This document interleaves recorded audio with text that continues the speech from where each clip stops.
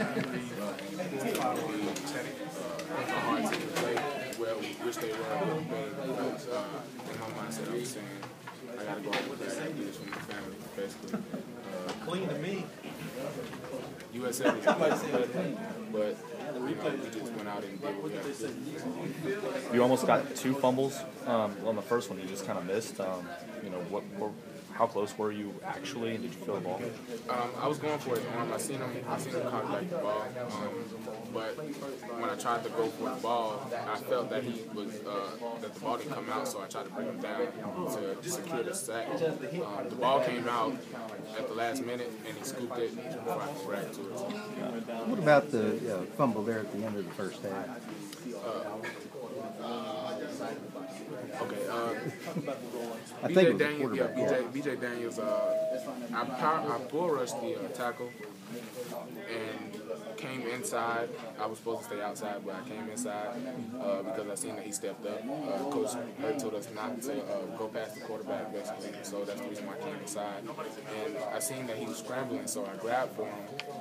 And in the last, the last minute, I found out that my arm was around the ball, and I said, okay, I have a chance to strip it because coach said that BJ Daniels carries the ball like a loaf of bread. So I was saying, uh, I was like, this is my chance to actually get the ball out. So it was kind of tough, but I used all the strength I had to strip the ball out, end up uh, grab it and fall to the ground. I could have stayed up and ran for the touchdown, but I wanted the offense to do.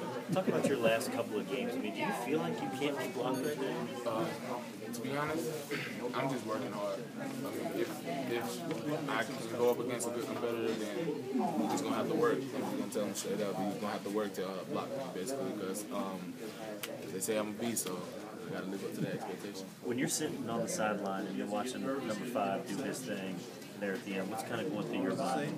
Um, I understand that he got our back as a defense, so I feel like uh, as a defense, we should go at his back. You guys had a little bit of trouble. They were doing out of the shotgun, the run up the middle. What was kind of the you know the problem? Why was that so difficult to defend? You think? Um, to be honest, I don't know because uh, I felt like as a D line, we were doing we were doing good. It's just uh, sometimes we have problems getting on blocks, so uh, that's something we have to work on more. And um, uh, I don't know too much about the secondary if there were coverage- problems or, anything like that. But I know we just worked hard to get getting sacks kind of streaky like other things in sports, where once you get one, sometimes you're able to get a couple more? I know you personally have, but also the team nine sacks in the last two weeks. Uh, Coach told us, Coach Hurt, Coach Strong, Coach Bedford, everybody told us that once they start flowing, they're gonna come in flocks. Like, uh, like once we get a groove, once we get our groove, we're gonna get sacks, tackles for loss, uh, interceptions. They're all gonna come in flocks. So basically, I have to understand that, you know, that they are like.